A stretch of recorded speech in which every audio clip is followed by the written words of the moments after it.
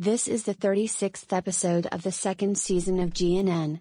Let's start the 36th episode of the second season of GNN.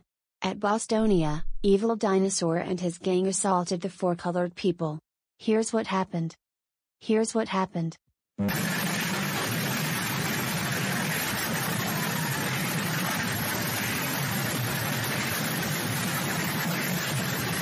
Wow. That was extreme. The four colored people survived again. In addition, they also assaulted Freddie Javis and Sally Havison. Sorry I can't show you the footage because of the long 5 hours. But anyways, they survived. In addition, at California Pizza Kitchen, his gang members assaulted Void Cooper. IO Trooper is not a part of this either. Here's also what happened.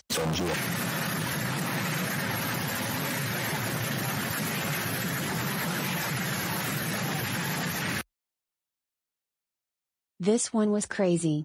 Void Cooper survived the beating. That's all of the 36th episode of the second season of GNN. Stay tuned for the next episode of the second season of GNN. Wow, I never expected this to happen. Both IO Trooper for hire number 24 and Evil Dinosaur for hire number 15 respectively. All of them survived. Them survived.